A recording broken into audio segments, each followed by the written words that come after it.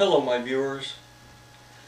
There's something that I've been wanting to make a video about for some time and I think it's, well I think that I'm going to do it now. I think that some techs are a little too quick to get the gauges out and put them on a machine. Um, I think that there's some other things that should be checked before you just hurry up and put gauges on on a system. See, because every time you put gauges on a system, you're going to take out just a little bit of gas every time you do that anyway. And in some cases, that can be critical in some small air conditioning systems, especially. Yeah, there are times when you have to actually break out the old gauges and and see what pressures you're getting. But there is some preliminary troubleshooting that needs to be done first. First thing you want to do is make sure that your thermostat is calling. So be sure, see in this case it is. Cool on. Alright, now the next step would be to make sure that the indoor blower is running. And in this case it is. If the indoor blower is not running, check the breakers to be sure that they are on. Because sometimes it could be as simple as that. Like if you've had an electrical storm recently or something like that.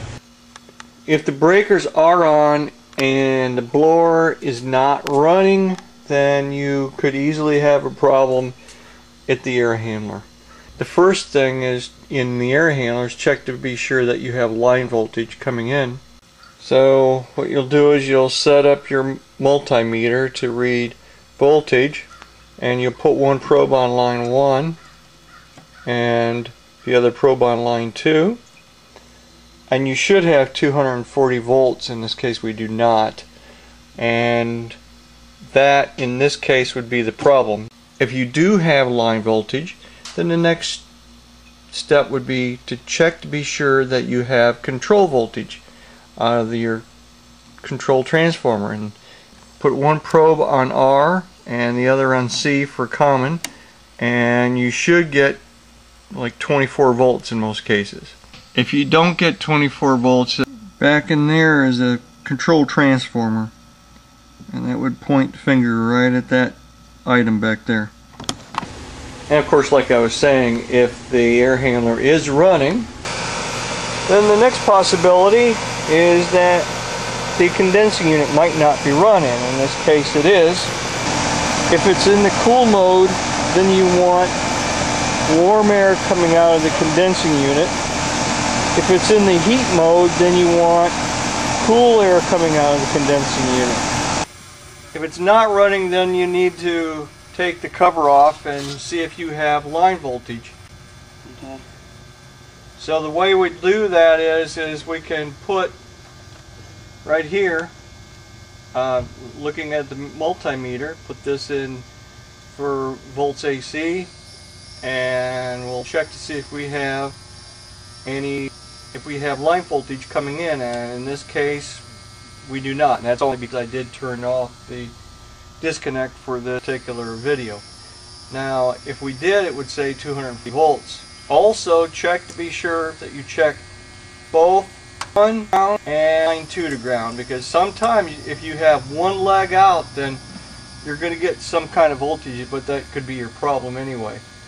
Now also check to see if you're getting a call to run in cool and in this case we are. See I put the one probe on C for common and, and the other for Y for cool. And in this case I have 24 volts. Okay and that's because I'm getting that voltage from the air handler which is powered. If it isn't running then you'll need to be sure that you're getting continuity across your pressure switches.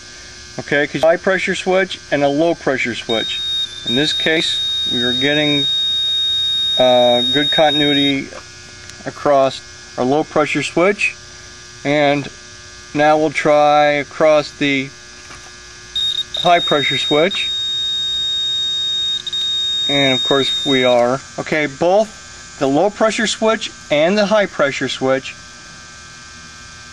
are in the closed position. And that in this with this particular machine that's good. That means that uh, it should have uh, control voltage going to the contactor and of course check the indoor and outdoor coils because if they're dirty then putting gauges on the machine isn't going to tell you a thing because it's not going to give you the proper readings.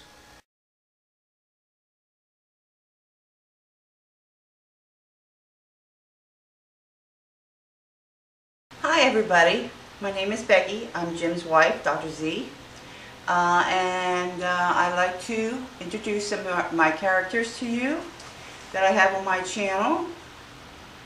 We like to invite you to come to our channel to check us out. Um, it's comedy, and I hope you all like comedy. So you can come over to our channel and check us out at Dearest Becky. First of all is Grandma.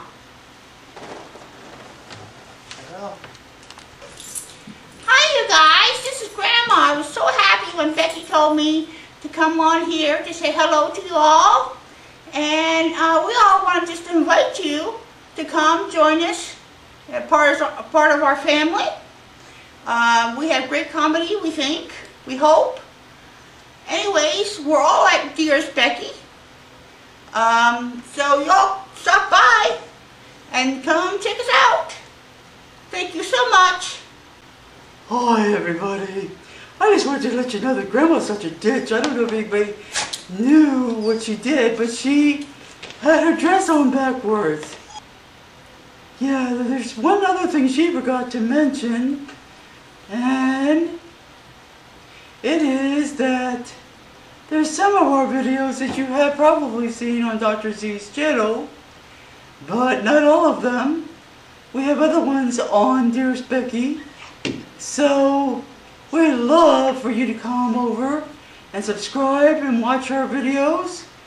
We would be so happy. You can see what a great family we have. Thank you so much. And that is at Dearest Becky, D-E-A-R-E-S-T B-E-C-K-Y, all one word, small letters. Thanks.